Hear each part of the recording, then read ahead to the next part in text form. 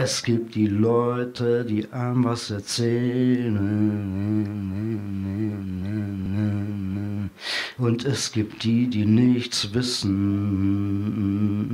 Und es gibt die, die nie von irgendwas was gewusst haben. Aber ich erzähl dir nichts, ich erzähl kein was.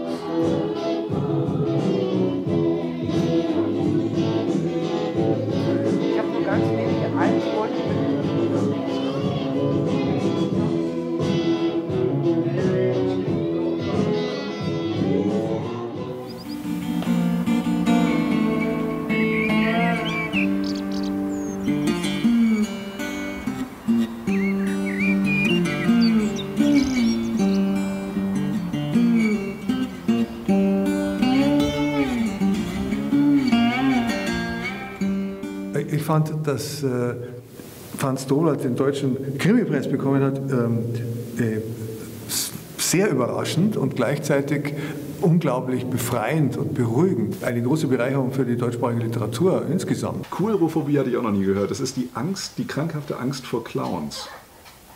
Gibt es wirklich? Ich habe es gegoogelt. Also. Genau, ich auch. Kann das Buch ja eigentlich wahllos aufschlagen und man wird immer auf Stellen stoßen, die man gerne vorliest. Ist es ein echtes oder ein zweifelhaftes Kompliment? Es ist ein echtes Kompliment. Genau, das Kapitel heißt auch Hoplophobie.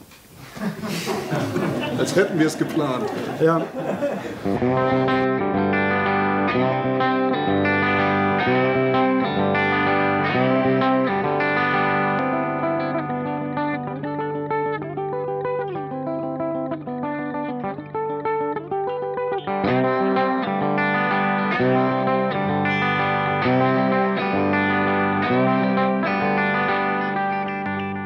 Er ist ja auch jemand, der, der, der unterhaltend schreiben kann und der, der, der eine Leichtigkeit auch herstellt, die ja für viele Kollegen verdächtig ist. Franz Dobler ist ein verdächtiger Autor, weil er, weil er so gut schreiben kann.